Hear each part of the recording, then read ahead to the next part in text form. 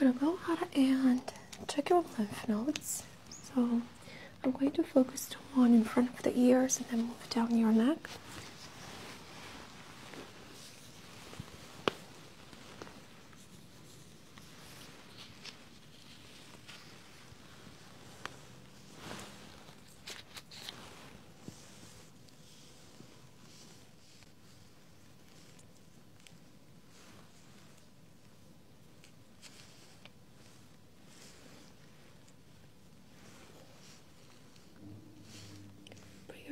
Preauricular lymph nodes are non-enlarged.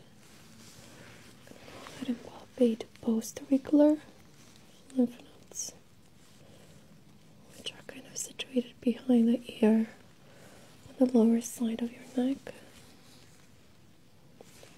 Also, some occipital.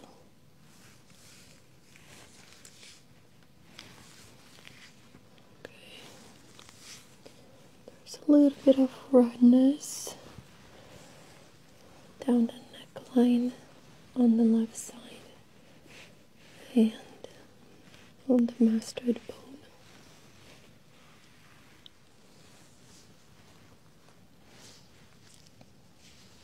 Submandibular lymph nodes and also salivary glands. More palpating.